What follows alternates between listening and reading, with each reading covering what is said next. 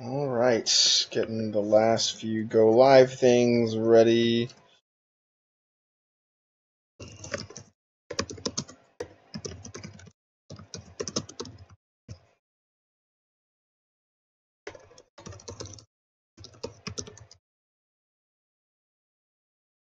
All right.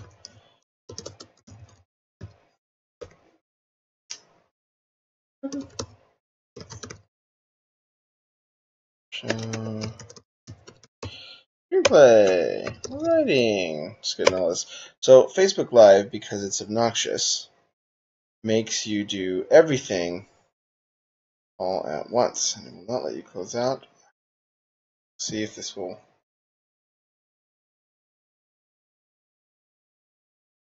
Hey. Gucci. Okay, Facebook Live is being garbage. What a surprise. Okay, let's see if that works. Anyways, I don't care if Facebook Live works or not. I'm not going to worry about it any longer. Ah, beautiful. We have a nice fire. Yay. Um, so here we are with Fox. Um, I'm going to go ahead and read through these. I'm going to type that we are starting the stream, so any of those brave Scriptshadow souls who want to join us can.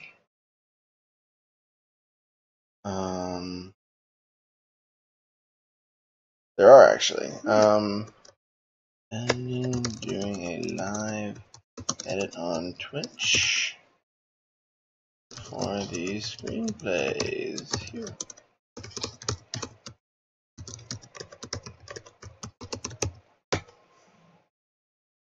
Oop, there we go. We are all ready. Oop. That actually works. Hey, it's me! Hooray! All right, cool. So let's get down to business here.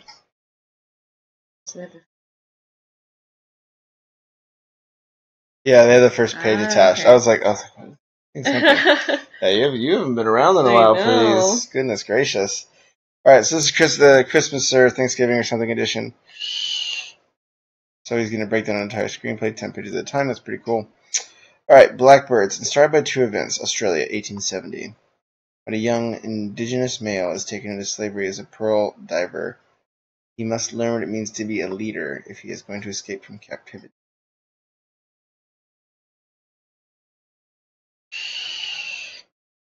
So looking at the first page, establishing, but naming an establishing shot, that kind of feels weird. It worries me.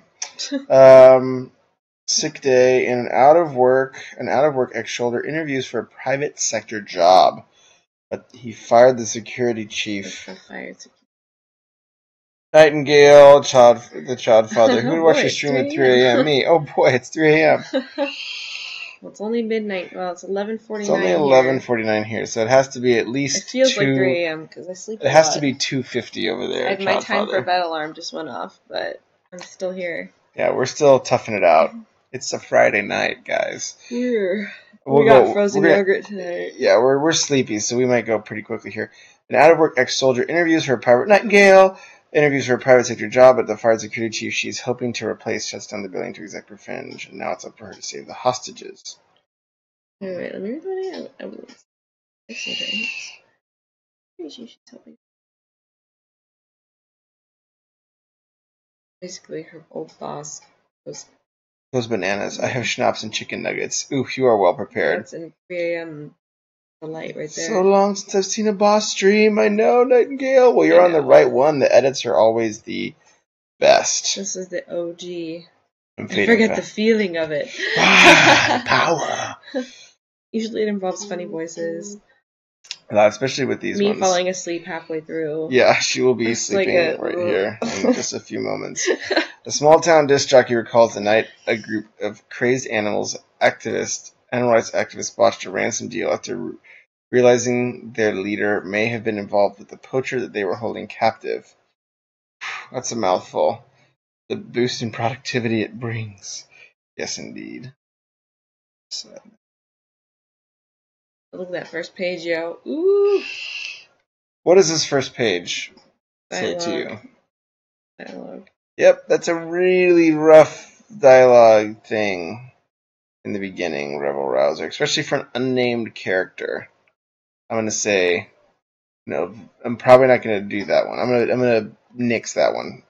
Uh, a pretentious magician, ooh, I like that, skips out of town after failing miserably on a TV talent show. He returns two years later to discover his best friend has replaced with a ventriloquist dummy, and the only way to get a second chance on the show is to accompany his friend and dummy on a cabaret tour. Kind of funny.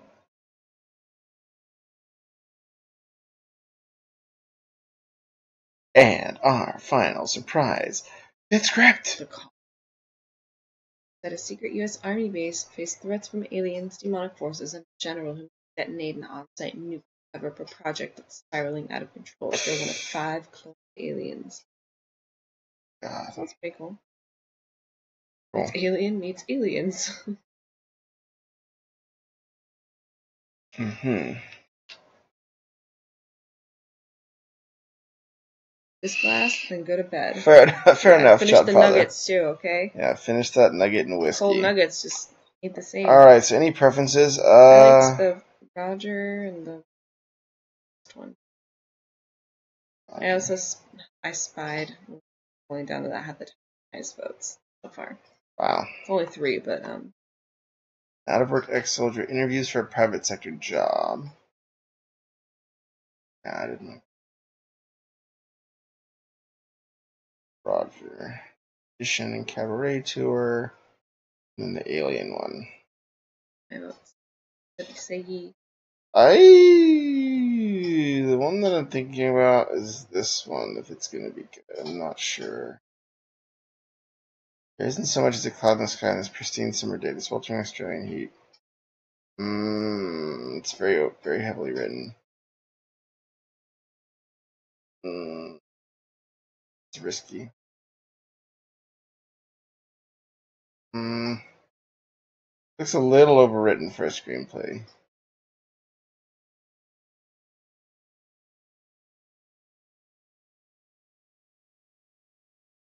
Our subtitle in English. Okay, yeah, I think I agree with Fox. The last two, she's right. Damn it, she's right. What? Yes, she is. Alright, let's download all this stuff. Get this party started. Oh, yes, it's coming quickly, isn't it?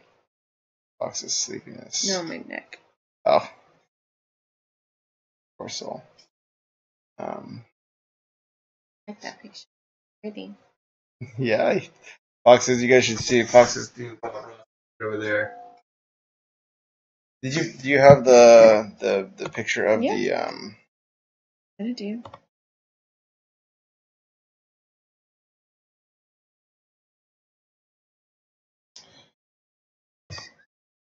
Alright, this is gonna take a hot minute here because life uh, is against me. Folder. At Okay, and then notepad.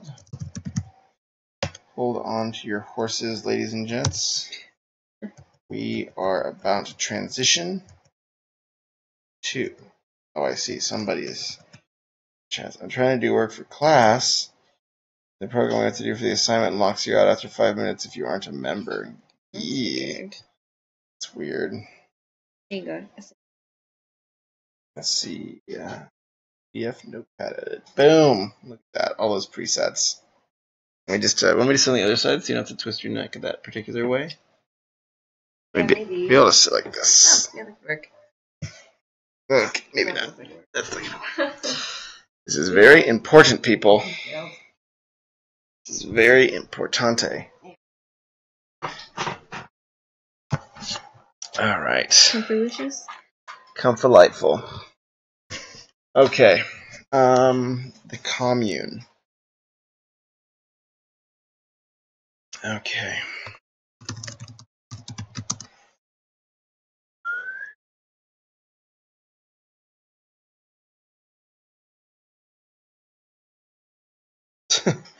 Doing some intense sleepy breathing right there. Those are yawns. Oh. Those are yawns. I take sleep very seriously.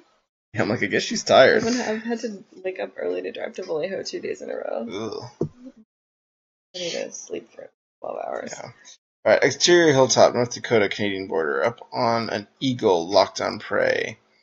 Its aerial circle. You mind pass me that cup of water? Its aerial circle constricts. Below, to see, we're in a campsite. Oh, just, So it's like up an eagle and it like pans down. oh. little bit i'm not i'm not a big fan of i know it's kind of a style thing now i'm not a big fan of camera directions to be honest um but maybe that's just me um avoid camera directions um personal preference at least legs folded eyes closed yeah so 50 something year old native american indian legs folded, eyes closed, holds a smoldering camellia pipe in his hands. We weren't doing this one, were we? The commune? That's the last one. That was one that you wanted to do. Oh, I thought it was called something else. Oh, that is. Okay, okay. I thought it was called something else. I was scared. Over at the Indian, okay, Indian's tent. Inside the unzipped flap of a Coleman sleeping bag lays a Colt 45. Maraca like rattle fears the air. Atop the rocks, a coiled up rattlesnake suns itself. Contented, the snake's tongue darts out of the air. The one thing I would say is that is the most common image I see of the desert is like the rattlesnake on a rock shaking its, its tail. Rattlesnake. That's rock feels like a very common image. Could we potentially get something He's from the desert, so he knows. bit fresher? Yeah, I mean, mostly it's just wind. I'll give you the secret of the desert. It's 90% wind, windiness, and wind and sand. Yeah. Um, a small scorpion freezes in position, wait until danger him. Gravel churns. Okay, hilltop Indian. Eyes open, turns look down at the southern wasteland. Uneven ground, small shrubs, the camp landscape. Two approaching jeeps. Ooh, exclamation points. Uh, I would say avoid exclamation points because it's it seems like a it seems like it's a little bit manipulative. I would say to the reader, where you know if we it should be described in such a way that we're putting those exclamation points in on our own. Um, even in prose, even in writing and novels, you almost invariably avoid exclamation points outside of dialogue or you know like once in your entire like 400,000 word novel type thing. That's like your level of how often you should use exclamation points. Yeah. Um,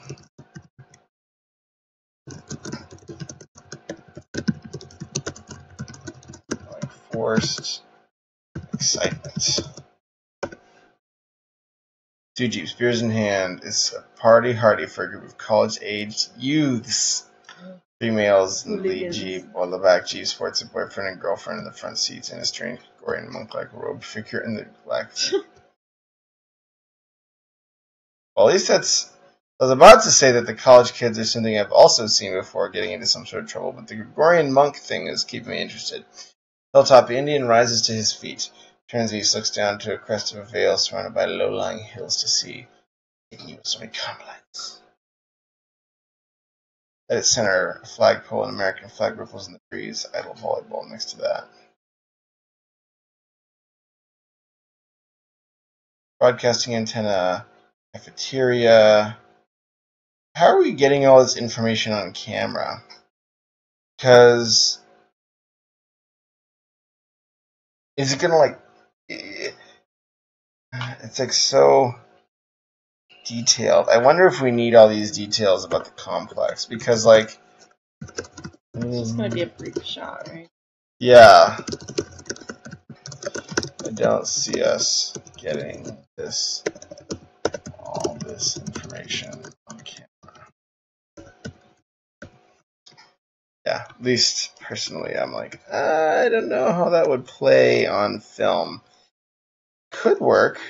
Oh yeah, and while you're here, Nightingale, I'm uh, testing out some new log lines. Tell me which ones you which ones you like. Um, make sure that the curious to see if the Facebook Live is even working. Said that you were live, but I didn't test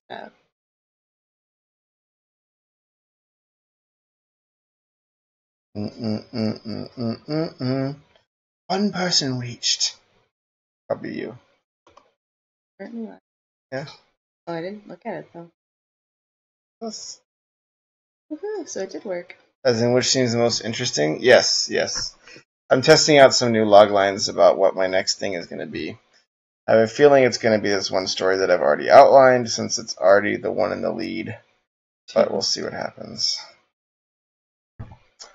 Military offices and spacious cafeteria are linked together by see-through plexiglass corridors, two desert camouflage painted vehicles, a Humvee, and a tarped FM, FT, FMTV. Mhm. She thinks I'm dyslexic, and she's not wrong. Barbed wire topped galvanizing fencing lines, inner slopes of the veil.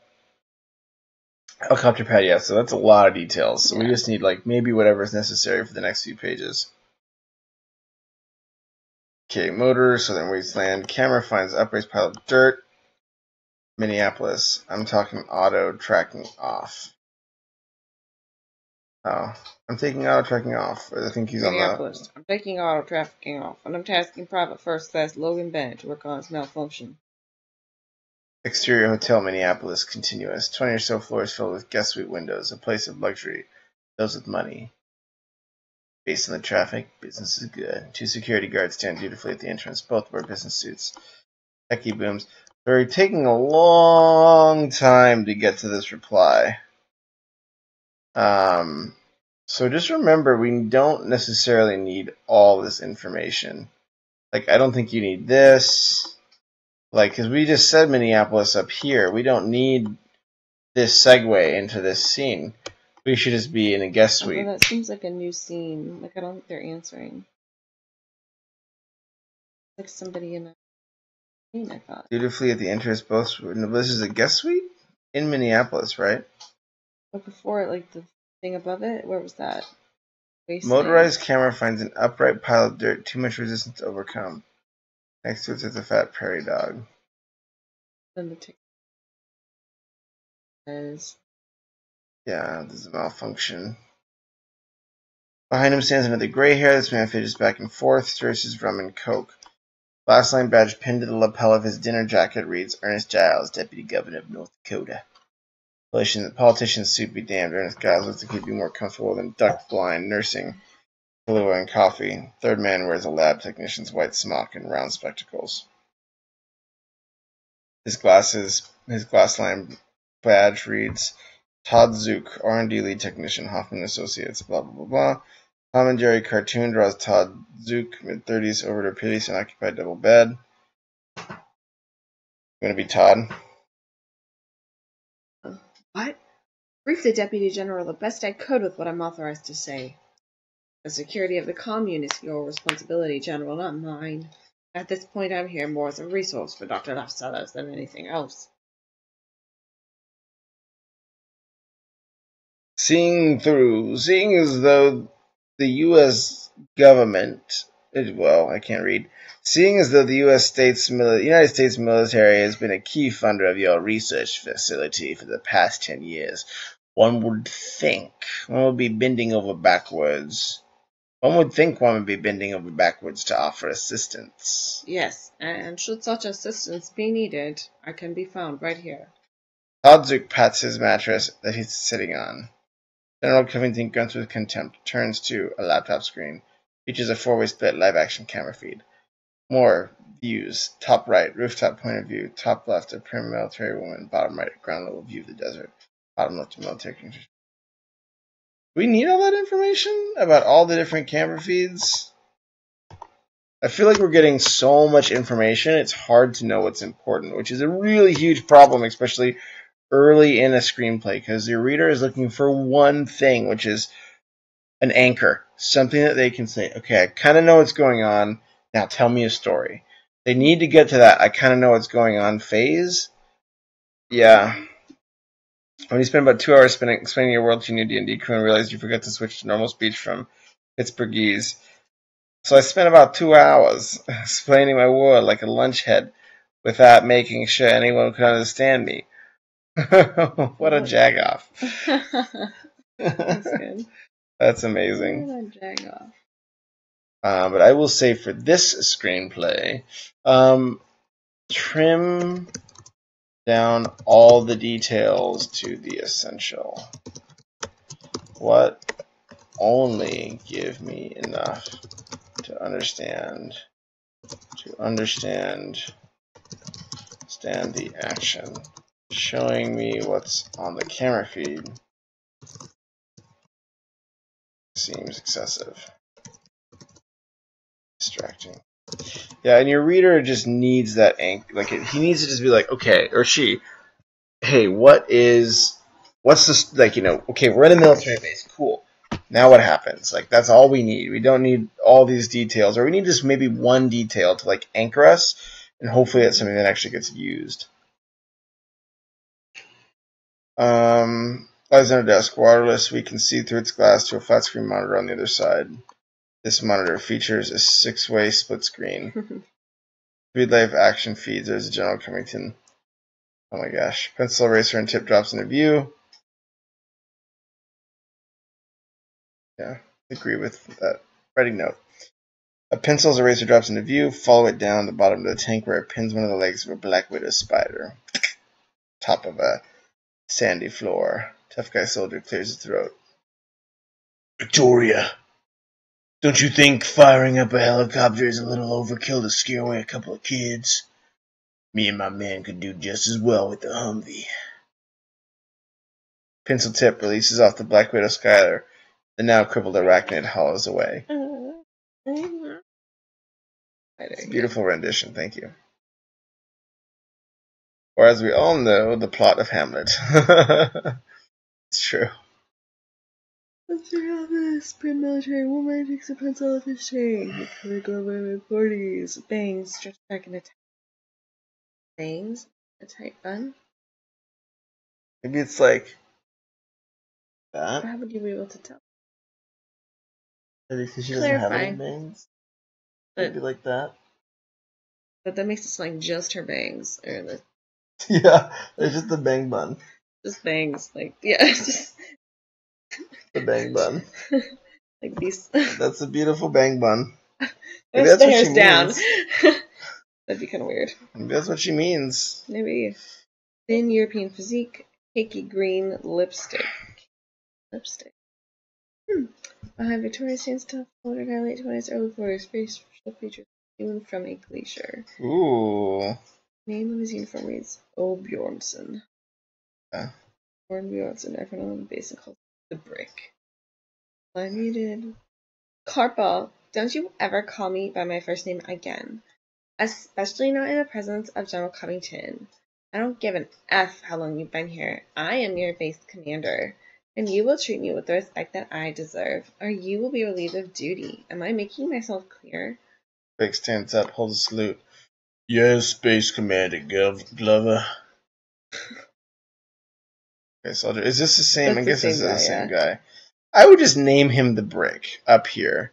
Um, the name, holding out the name is only really because remember, a screenplay is still a technical document, so holding out the name like a half page when there's not really a reveal around it, not really that uh, useful. Um, just name the brick with his opening. so, well, I'm also doing a whiny voice. Yeah. yeah, I do think the dialogue needs a little bit of elbow grease. It's also a Yeah. super long line, right? So like, this is, yeah, like this.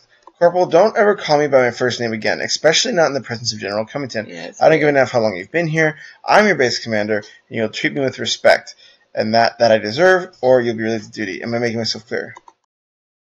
Um, you know, that's a really long way of saying address me by my title, or like go outside. You know, whatever that is. You know. Yep. Uh, shorten, shorten, shorten, shorten everything you can in a screenplay.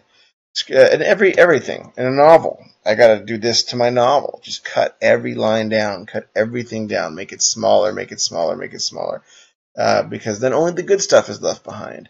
Uh, short and long, long over explaining.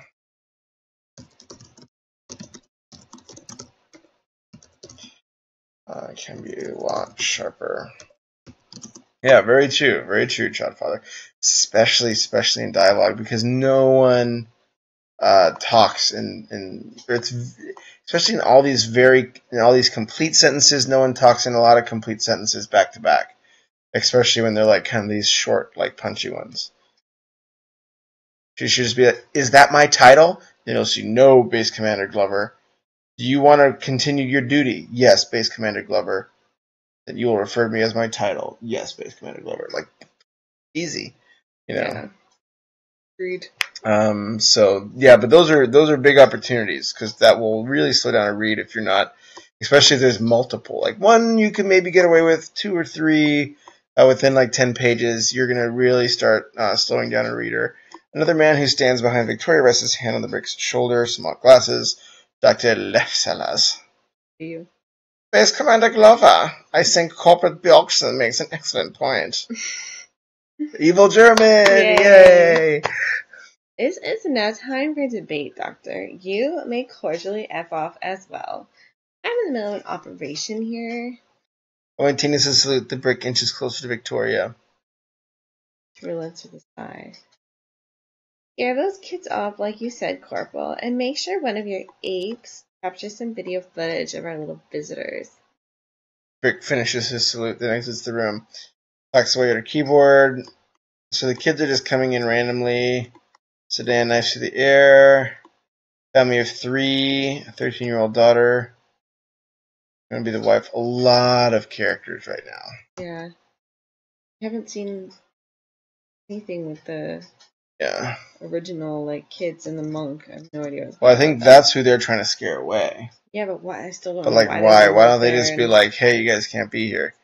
Keyboard. loud? That's a piano. No, no, no. She's answering the riddle. Oh, oh. Um, we have a lot of characters here, and if Yes, you a keyboard.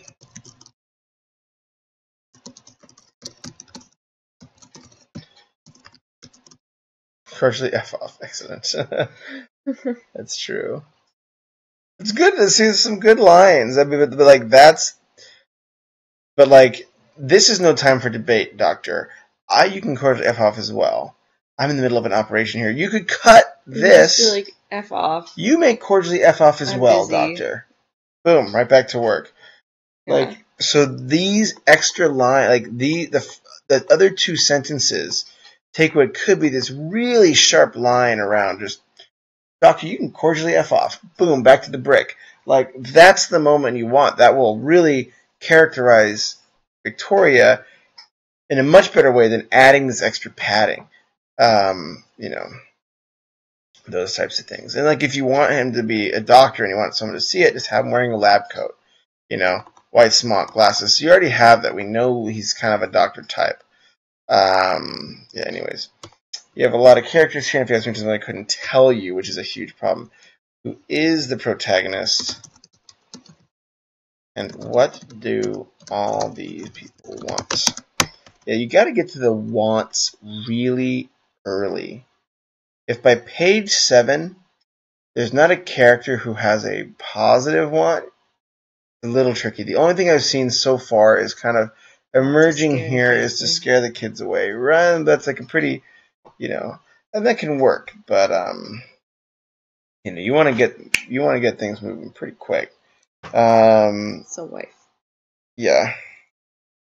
Down, honey. If we don't Mhm. reach this place alive, what's the point? Mm-hmm. Bud looks to his watch the sedan slows. I'm sorry, girls. I didn't mean to scare you. The daughter looks at her father. Daddy, what kind of place are you taking us to that would ask questions like this? Ask questions? question. The clipboard, which has a questionnaire attached to it. Bud attempts to reach around while driving. Give me that. Honey, watch out. Brakes locked the sand pulls. Road spraying dust. Index finger a ringing. The father turns to his family. Now listen to me. I was lucky to find out this opportunity. Five thousand dollars for a couple of hours of our day is a bargain. Literally, manna from heaven. Honey, you ever thought risks? Shut up, Lonnie. Just shut your mouth. I've lost my job, and world knows. So this is a on the nose. little on the nose. That is the problem. You can never ever get this information across this way in dialogue without it sounding really hard. Um, and that's the thing; these are unimportant characters, I believe, so far, because they're unnamed, right? They're just father, mother, daughter. So why are we learning their backstory in the first place, and then why is it coming through? Uh, or like dialogue is a really bad place to bring it in. So first, ask: Is this backstory necessary? I would. I'm going to guess it. It's probably no. Probably not. Uh, and if it is, then you definitely want to start looking for other ways to express it, especially then through dialogue, or at least hide it more through dialogue. It is extremely on the nose. Yeah, uh, the school of thought was to add a bunch and cut it down, Chodfather. You're probably right, but before, you know, because this is submitted to the amateur offerings, right? So before you submit this to something, uh, to anything, you want to tr- do a lot of that trimming if you can on your own, uh, or else, you know, a good reductive edit is, is, is powerful. This is 121 pages. That's really long for a screenplay. This could probably get to 90. That's scary. But you gotta do it. Pull out that freaking butcher's knife and say, I'm gonna not, I'm gonna cut every last word, every last line, every last extra scene. I'm gonna combine scenes. I'm gonna combine characters. We have 10 named characters so far. Uh, so we need to trim, trim, trim, trim, trim. Majin, what's up? How's it going? What scripts did you choose to look at for the five? We're at the commune Are we doing And- and Ro- Roger. the commune and Roger. So yes. Uh, let's turn in the nose. Um, first make sure. Uh oh. See, this is what you never want to happen to your readers. Mhm. You gotta, gotta cut off her oxygen until she wakes back up. Oh, no. Oh, no. Uh, lost my job as soon as was necessary. Then ensure it's um, delivered well. Um, okay. We're on the verge of losing the house. Short of selling drugs, this is the best option we have is starve off the wolves another month. Huh? Stave off. Stave off the wolves another month. Danny, these people must have done something awfully bad that someone would hire a third party to check up on them. The daughter's dialogue is definitely strange. Oh, I guess she's 13, but still, like. It's pretty advanced. But like that, those two registers of language, like someone would hire a third party to check up on them, and but daddy, Yeah. like that seems uh, is, is pretty strange due to having a few registers of language at once. Um, so I think I'm gonna say I'm gonna start putting my overall notes together, uh, which would be improve. Let's see, dialogue is going to be one. Trim and clean dialogue. Yeah. Recommend the writer look off Chekhov's gun. It's true. We're true. Yeah, check out, yeah. Page 8. I'll say TCF for the Chodfather. Um, check out Chekhov's guns. Be sure every payoff, every setup pays off. Um, that's, you know, hugely important. Don't set a bunch of stuff up that's not going to happen. Okay, look, Gracie. Okay. Look, Gracie, I know you're not stupid. These people are probably just sex offenders the military is trying to rehabilitate. Oh, now that's reassuring. When has the U.S. Army gotten, gotten into the business of rehabilitating sex offenders? I don't know, Lonnie throws his hands up. Maybe what happens in Vegas doesn't stay in Vegas as pertains to combat troops when they get back to the good old US of A. Will you just quit badgering me already? Let's just do our job, collect our money, and put this bizarre incident behind us. $5,000 richer. Does that sound okay to you? Yeah, it's fine. All right, so driving around, I think I'm gonna kind of call it here in terms of this particular screenplay. Mhm. Like Grumpy Father, uh, grandfatherly voice. You sure you're ready for this, sweetheart? Another new character, Eve. Another new character, Seven. Indian jock Oh, driver. Okay, so these are the jocks that are coming in. Yeah, uh, I think you just have too much stuff. I would say Yeah. um, over description in action is slowing down the read a lot. Reduce the bare essentials. Uh, I'd say the good. Um, I like the. Let's get this up actually. Um, I really like the kind of tone, the flow, tone, and the mystery of the hooded guy with college kids. I, we, we agree, Majin. Yes, I would agree. Uh, that's actually a good one. Uh, couldn't couldn't identify single protagonist. Uh, the concept is good. That's another good note. Like great concept, setup, but just need to get there faster.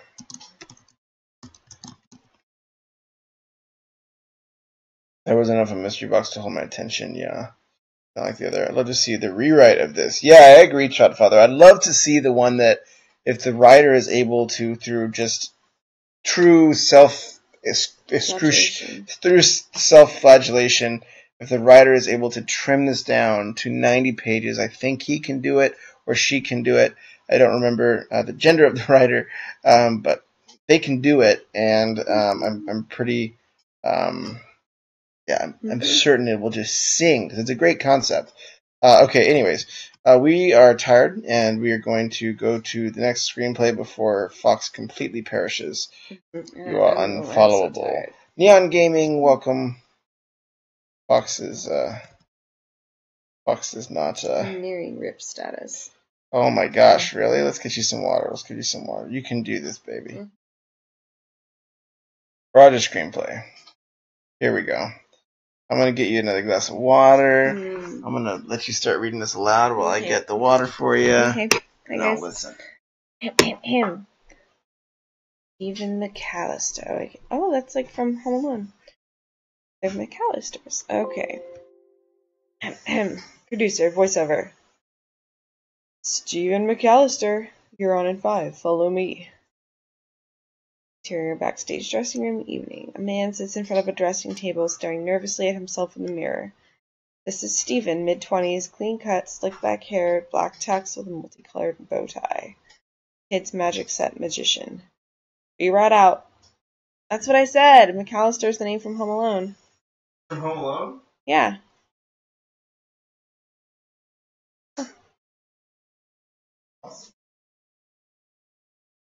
Producer nods, closes the dressing room door. Stephen has an old Polaroid picture. It's him as a five-year-old standing next to a magician. Signed, all the best, Thor. X. The look on Steven's face in the picture suggests it was the best day of his life. Oh, you're still hungry? No, no, I'm good. No, no, no, no, no. No, no, no, no. Oh. Oh. It's like smelling salts, peanut butter. No. Yes. Awaken. Awaken. okay. Even though the look on the picture just it looks like it's something else. I'm reading.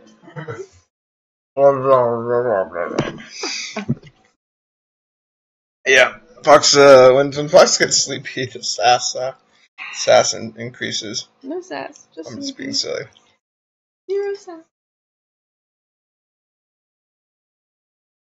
You're unfollowable, I can't remember why you should read. Isn't the script where the main character was played by Sam from Game of Thrones in, sh- in a short? I Oh. don't know. Sean Astin? Yeah, the commune. Alright. Kevin!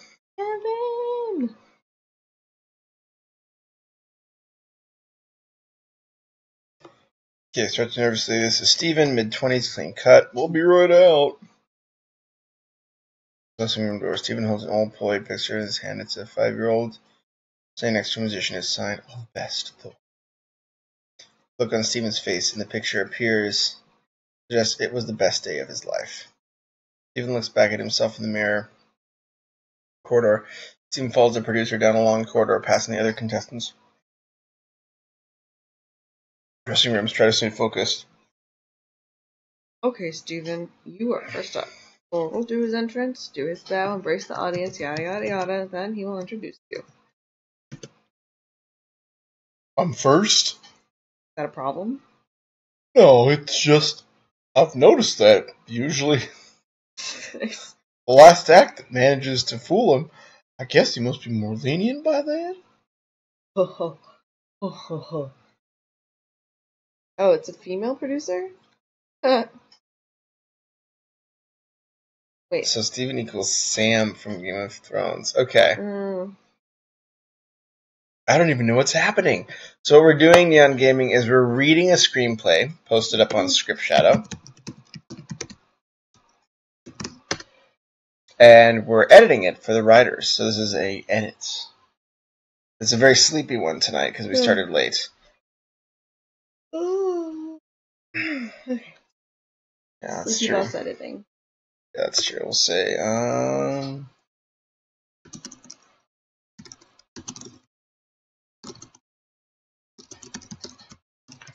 Did the producer get introduced?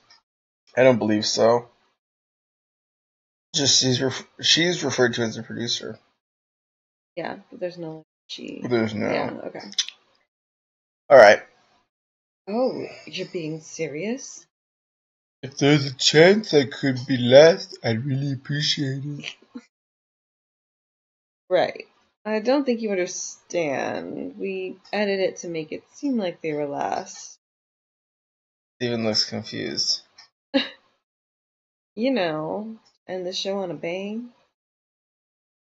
The power of television. Poor Sam from Game of Thrones. He's real dumb. For a second, I thought you were doing code. yeah, so our edits are on the right side and the screenplay is on the left here. yeah. Good questions, though.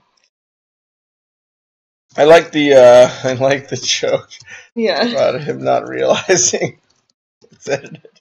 Yeah. Especially worked with your voice. the power of television. the power of television. I think you want that at 3 a.m. and I'm drunk. That's right. I'll be cashing that edit soon enough. I like it. Like it. Studio door. Sincerely turns away rolls her eyes. Studio door. Okay. Steven stands nervously by the studio door, psyching himself up. Producer talks to someone ear. Okay, we were ready to go in five, four.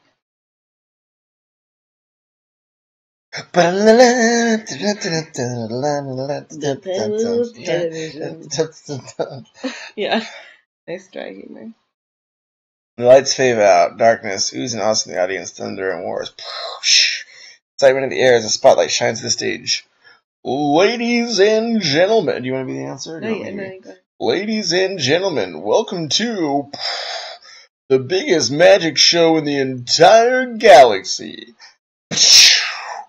Can you deceive a god? Is it it's time for another ungodly magic. Please welcome to the stage. The son of Odin, god of thunder, the one and only Thor. Thor appears, legs apart, arms crossed. The sky means business. He swings his golden hammer in the air. The crowd goes wild. Who wrote the script you're editing? Um, I believe it is a gentleman from Scriptshadow named, or yeah, Brendan named Brendan Cleaves. Cleaves. Um, so this one I'm liking so far. Yeah, So, cause look, look, look at the great job we get. We we know who our main character is early. We see him looking at like this idol of his, Thor. we don't get too many details about the room he's standing in, and So he's doing a lot of showing, which is nice. I like that. I see that Thor is his idol as he's going to perform right after him.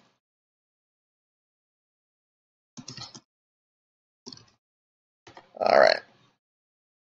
Let me see. So the door swings open. Thor, late 50s, suave, flamboyant, confident, and mysterious. Everything Steven isn't. Steven can take his eyes. These types of moments, mm, I know it's very common in screenwriting, but one of the joys, I would say, of reading, if this is serious, then it's amazing. Yeah, it's hilarious. um, one of the joys of reading is doing some of the math on your own. And the reader will love you if he can put these things together and you don't explain them too much to them as a writer. And I think this is just getting over the line of, you know, we we kind of have gotten Steven's description of him kind of being overweight, looking like Sam from Game of Thrones. Uh, and then Thor being this like suave. I don't think we actually got it super deep. Did we get a description of Steven? He's in Uh, um. Steven mid twenties, clean cut, slacked hair. Kids, magic set, magician. Kids magic set. Magic. Yeah. So I would, you know, give some more. So like, um, say, um, don't tell me it's everything, Steven. Isn't just show us, and we'll believe you that your pros do the work.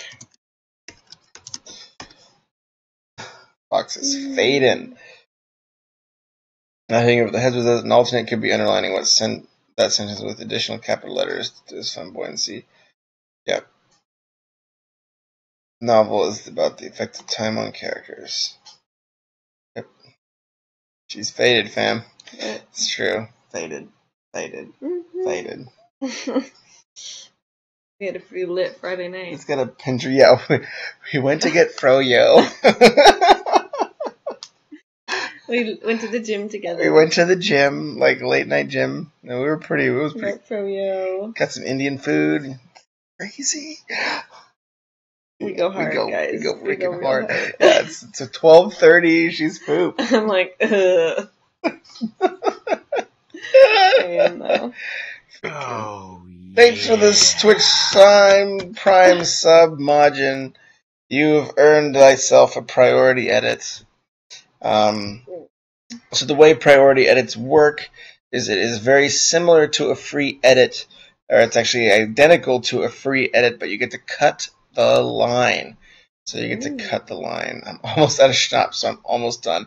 Well, I'm glad you've been um, schnapping it up. That's a real. Should we get night. Fox some booze? No, Yes. no, that'll just put me right to sleep. right to sleep.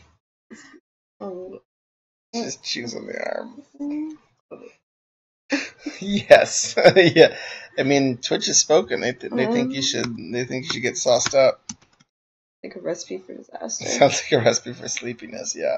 All right. Well, we'll keep cruising. I'm sure this. I feel like this story has momentum. It'll Yeah. wake me up with its with its excitement. yeah, let's keep going. Cut the line. Yes. There's a very long queue of people who want the free edits, obviously because they're free and we do them live on Twitch. Um. So yes. Steven can't take his eyes off the screen this time. His moment, his the door at the end of the corridor flings open. Roy's late twenties baby face, holding old. He runs down the corridor, chased by two burly security guards. Steven! Adjusts his eyes. Roy. Two security guards rugby tackle Roy to the ground. That's Roy. He's my friend. Guys, Security guards look up. The producer gestures and they release the intruder. They pick him up, dust him down. What are you doing here? I left my gig early. No, I mean, what are you doing here? You don't like my really derpy Steven voice? I just couldn't bear to think of you performing without it. Roy puts the suitcase down on the floor and flips the lid. Inside is an old fashioned, scary ventriloquist dummy. This is Roger, unknown age. Roy rummages through the case. Uh, That that one's good. one. That's good. Roy rummages through the case and pulls out a small shopping bag from under the dummy. Without what? he sounds so dumb. I He gives it to Steven. Steven looks inside the bag. Fresh freshener? mentioned yesterday you would run out. Steven looks at the gift, perplexed. Oh no, I got the wrong one, haven't I?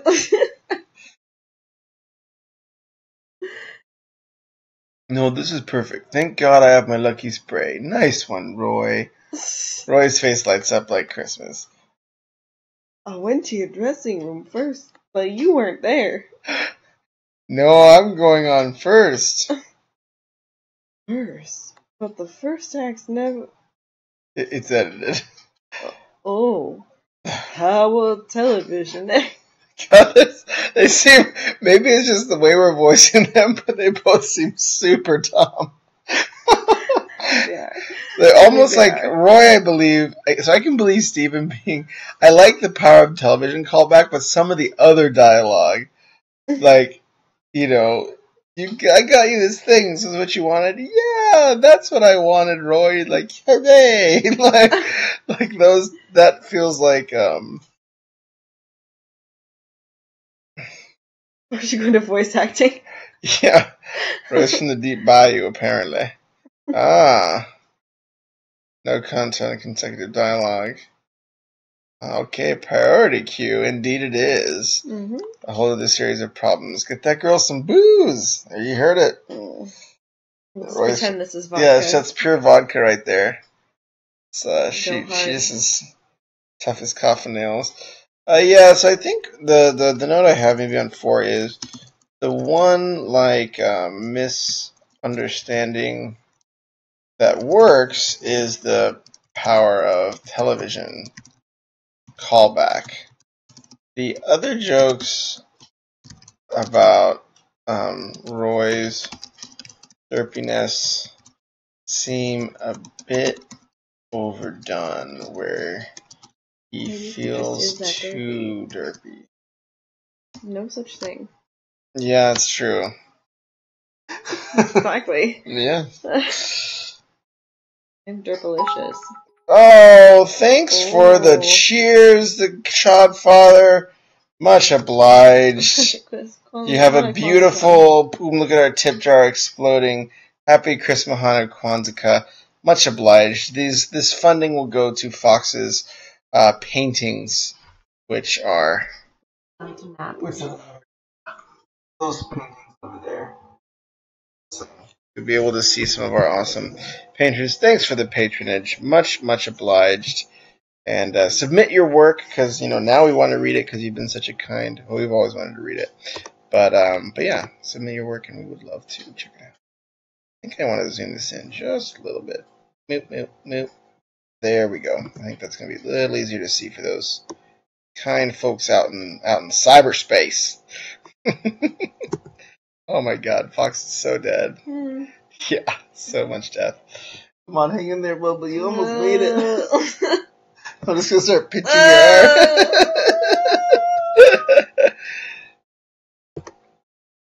well, thank you very much, Chodfather, for the cheers. That's very kind. Uh, so kind. All right, we'll we'll keep the we'll keep the the, Yep. the act strong here. All right, what are you doing here? Okay, left my gig early. Okay, he's kind of derpy. Or television. Hey, Exactly. Exactly. The producer gives them a pair of withering look, or looks up at the TV. is so excited. Yeah, it's a good Louisiana. On the screen, Thor gives a bow to the audience before taking his rightful seat on a golden throne embedded in the audience. I would be so nervous if I was meeting my idol. Try not to think about that, Roy. Okay, so this is getting a little on the nose. We already established that Roy's idol was Thor. I feel like I don't necessarily need uh or that Steven's idol is Thor. I don't think I need this extra one. Uh I feel like established that idol is Troy from the picture. Or Oh yeah, whatever. I'm half asleep. I was about to say that. I was like, oh my god, I should be ashamed. Uh, from the picture. Um, so this feels heavy handed. Yeah, cut Roy's dialogue down. I would agree. So you review scripts of people from Twitch only to get them from different sources. I heard you say script something before. Scriptshadow. Yes, indeed. That's separate though. No need for Roy to hype the moment. I would. I agree. I agree. We've already gotten a lot of hype around that moment. I'm um, trying to think. Everything you have been working towards has been coming down to this one moment. Roy. Oops. Sorry. I won't say another word. Sure, you can't be here. Contestants only. Sure. I'll get out of your hair. Oh, that's you. Sorry. Yeah. Sure, I'll get out of your hair. Good luck, buddy. Remember, just be yourself. Yeah, Roy's sweating like a hog, but he's in a paper bag. Yeah. I feel like I don't know what I was supposed to get out of Roy's intrusion. Mm. Besides, he brings him this creepy doll. I thought he just brought him breath freshener. But he puts wait. He puts the suitcase down on the floor, flips his lid. Inside is an old-fashioned scary toy customer But then he pulls out a small shopping bag. from under the dummy without. and in the what? bag, breath freshener. Oh. Yeah. I feel like this. I feel like I kind of wanted to get to this show.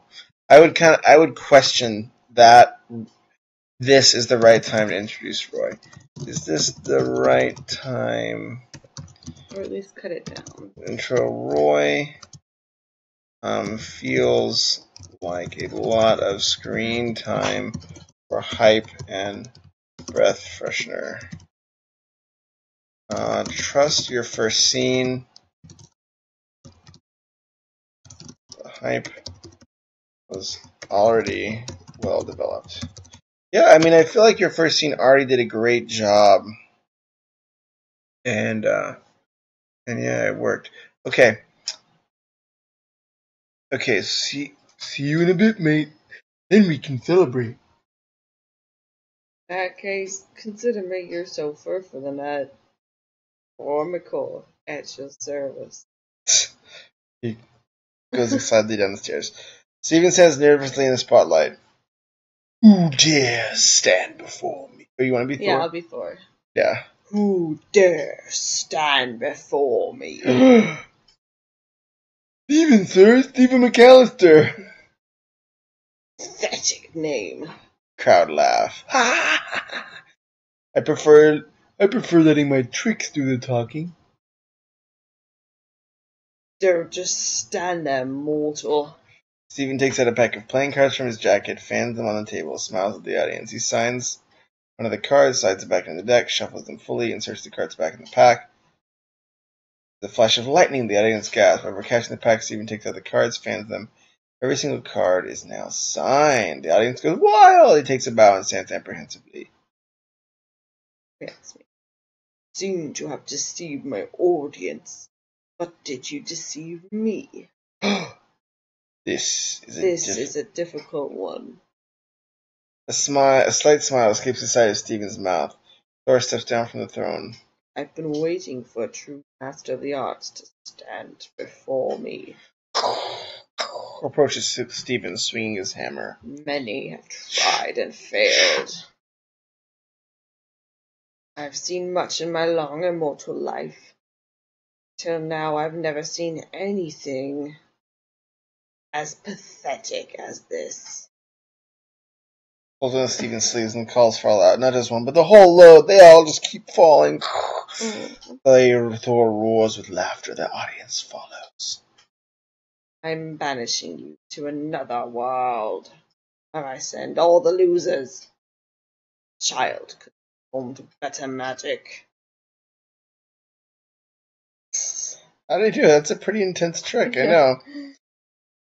Uh, there's only one last thing to do. Banish, banish. Nightingale, thanks with the hundred, the hundred bits. Much obliged. Thanks, so kind. Nightingale. And you guys are just making it rain tonight. So sweet of all y'all. I know. The, t- the tender little. Majin Buu with the sub, and Chodfather and Nightingale with the bits, and then Chodfather is even sending us some freaking sweet D and D dice. I know. We are we are we are blessed. Hashtag Oh, hashtag blessed. Um, but thank you, thank you, much obliged. Much obliged. All right, so this sequence, what do we think about it? Um, it's something. It's it's weird because like these humiliation scenes I've seen before. I think you need it. Um, but how can I get a, a twist on it? Um, like you know, I think that's what I would ask. Like this, it has a slight twist with Thor's kind of magical tone, which is kind of weird and creepy, which is awesome. But how can we keep twisting this familiar humiliation scene to make it yours, to make it this stories? Um,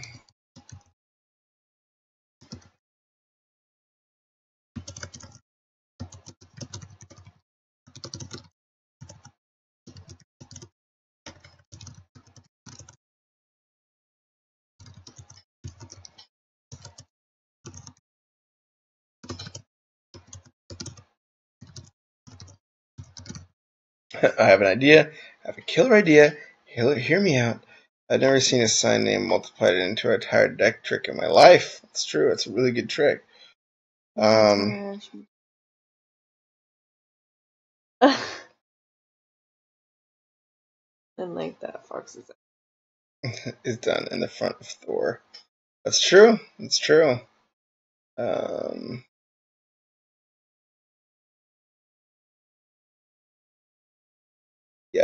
Fox's Fox's rip. She's this is um. It's not a sign of any screenplay issues or quality or anything like that. She just is sleepy. Don't take offense, dear poor writer. Um, she slept through my novel many times. I have seen much in my long immortal life, anything so pathetic. The group of people stand. Stephen fumbles toward the stage, slips and collapses on the ground, breathing heavily. Stephen falls through the exit door into fresh air, vomits in the gutter, distraught. He reaches inside his jacket, pulls out a handkerchief, and wipes his mouth. He goes and discards the handkerchief on the floor, but it's attached to a string of handkerchiefs. He reels them out of his jacket, blue, green, red, yellow. In a fit of frustration, he keeps pulling until finally he reaches the end. That's a really great, great joke. I really like that one. Um, P9, like the hanker.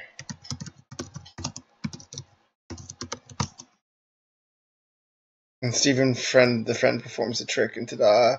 He was really the magician the whole time. You're pretty badass. He glances around and spots Roy sitting in the old Volvo, considers walking over. Something stops him. Embarrassment, shame, perhaps. Turns and watches the opposite possession. Taxi! Taxi pulls over. Stephen jumps in the back. Taxi night. Taxi driver looks at Stephen through the rearview mirror. Whacked out. Anywhere. Gazes out of the window, deep in thought. So is he really banished? Could be. I'm gonna need an address, fella. Okay, 5 Compton Road. The driver nods with a smirk. Oh, bow tie. Two years later.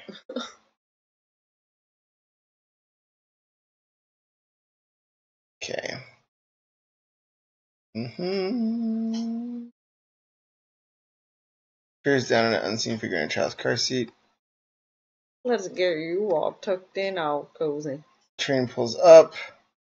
On page 10, I kind of want to see what the bigger hook is. Um, what is this silly outfit you're wearing? I'm Turin now. Oh, sits in the back. In Mongolia, 24 months charting the fault lines that exist between the physical and metaphysical. I have seen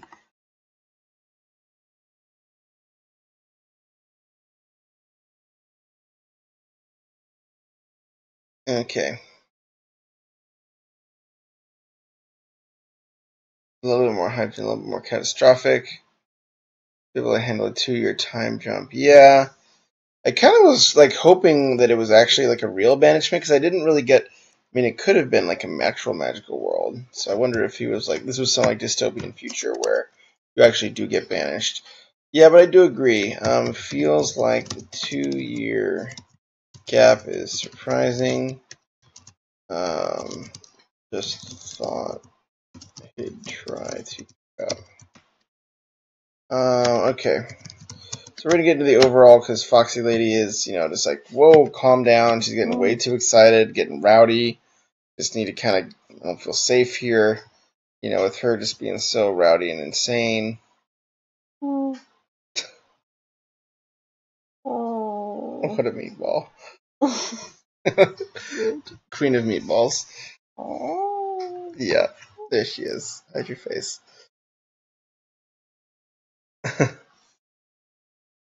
it's a happy fox in her.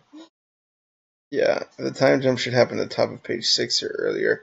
Yeah, I also feel like this intro scene was pretty long. We don't necessarily need to see Roy. Like his payoff is just this taxi ride thing, which I don't feel is like that useful.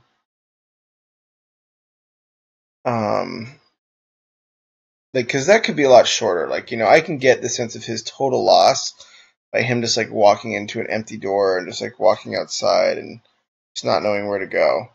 Um, you know, so like these this extra follow up, I feel like that's happening in a few of these things probably isn't super necessary. So, anyways, let's talk about the good. Um, really good jokes, great humor, uh, humor. Uh, liked liked the Steven character a lot. Um, what else we got? That was good. Pretty decent show. hmm Good show. Yeah, with it. Detail. Still hip. Still relevant. Because I'm half asleep. The story just started at page 10, yeah. Yeah. So I'm going to send that in. What are you sending it? I have the first chapter done, not just word sprint vomit. Yeah! Well, looking forward to seeing it, Chodfather. Pumped. Pumped. I'm going to be hopefully doing a lot more reviews, a lot more regularly, um, due to the fact that I'm going to be taking some time off of work. Um, I didn't get a vote yet. Which are you voting for? I'm voting for this one, I think. I'll confirm with Fox, but I'm pretty sure that this one is the leader. Yeah.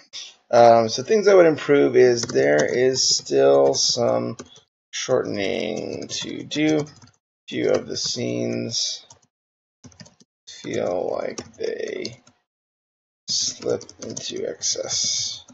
Um, make the I will say the Troy scene a little bigger or more unique.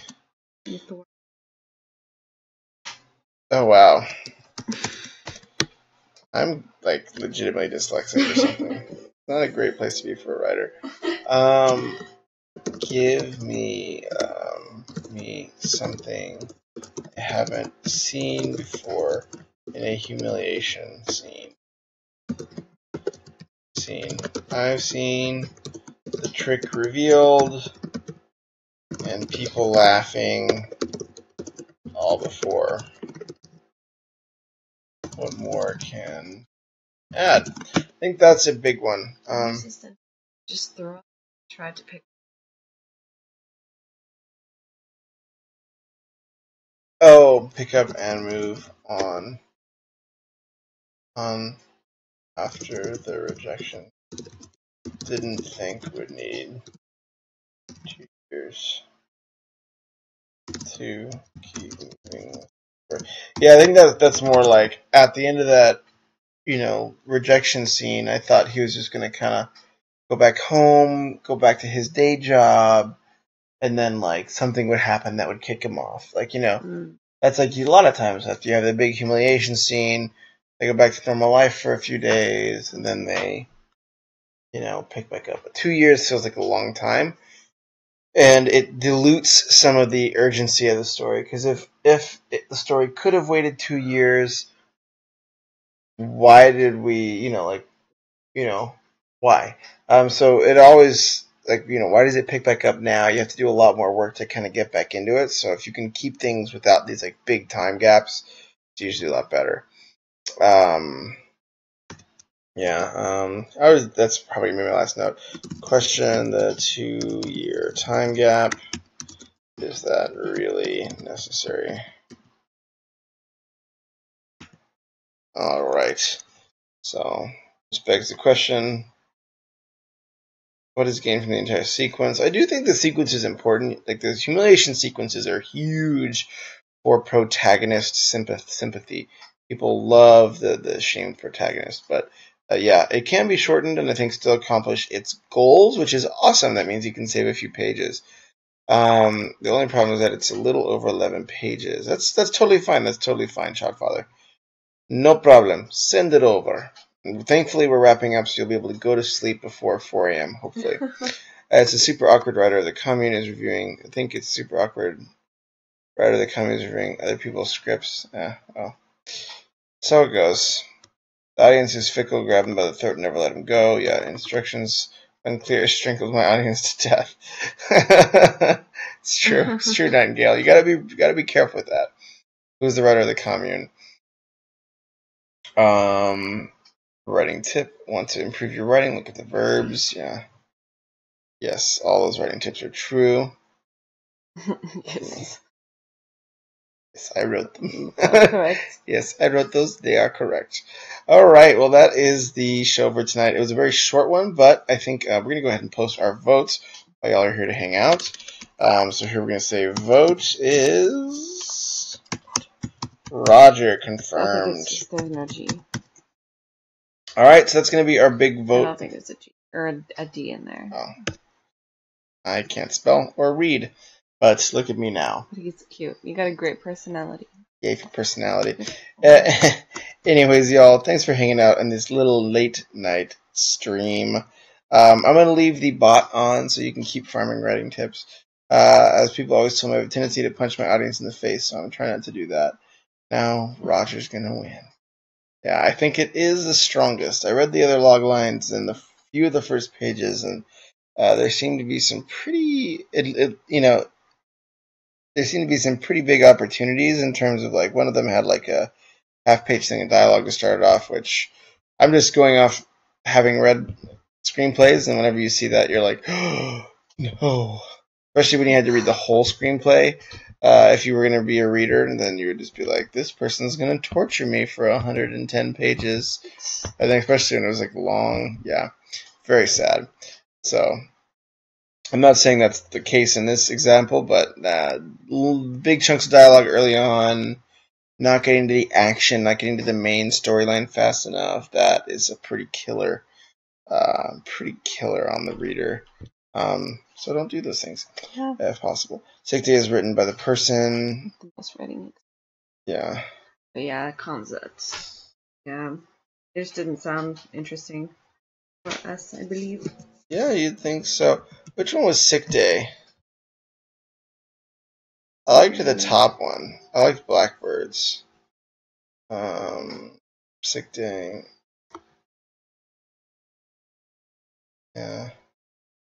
Yeah, I feel like that was sort of like, um,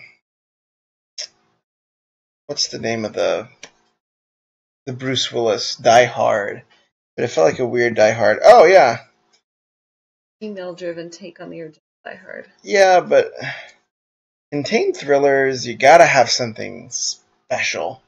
And like Die Hard's special thing was not like the villain or the good guy; it was him and his wife.